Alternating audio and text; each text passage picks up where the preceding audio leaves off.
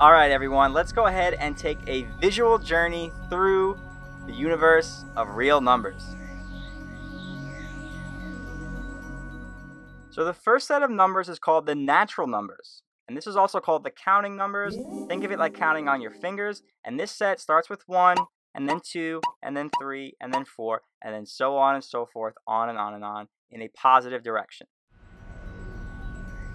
Now, those natural numbers are a subset of the set of whole numbers. Now, whole numbers is the same thing as natural numbers, except that 0 is also included in that set. So it's 1, 2, 3, 4, 5, and anything else going on and on and on in the positive direction, but it's starting at 0, whereas the natural numbers start at 1. Now the whole numbers are a smaller subset of the integers.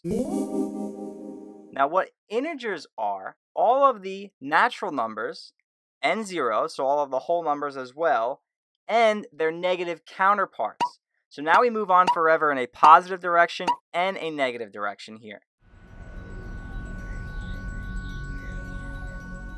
And all of these are subsets of the greater universe of rational numbers. Now, the rational numbers will fill in the gaps in between those integers on the number line. In this case, any number that can be written as a fraction a over b, where a and b are both whole numbers here. And an example would be 1 half.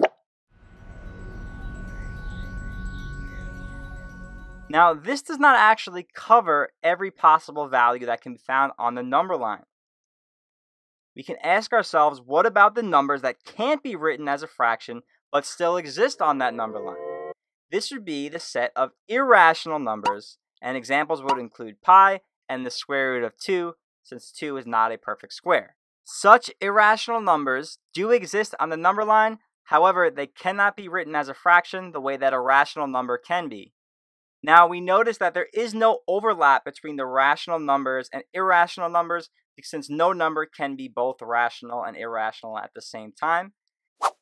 And both of these sets of numbers are covered under the umbrella of the real numbers. So a real number is anything that can be found on that number line.